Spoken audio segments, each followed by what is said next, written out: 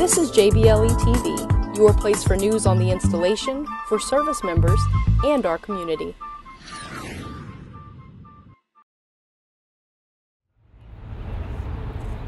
Newport News firefighters are visiting Fort Eustis and Hampton Roads to commemorate those lost on September 11th.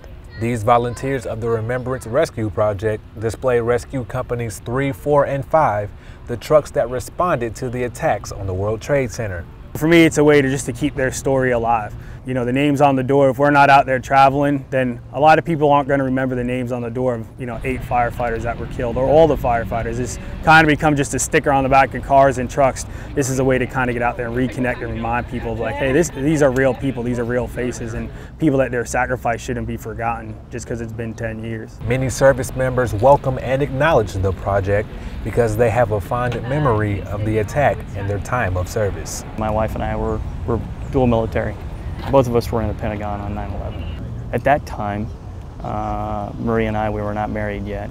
Um, we didn't know if each other was alive. And I think that was the, the, the toughest thing for us at that point.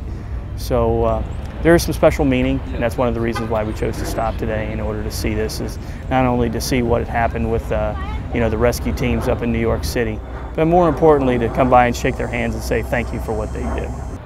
The Rescue 4 fire truck will be in the Newport News area until September 8th. Then it will continue its tour to different bases on the East Coast. Senior Airman Jordan Garner, Fort Eustis, Virginia.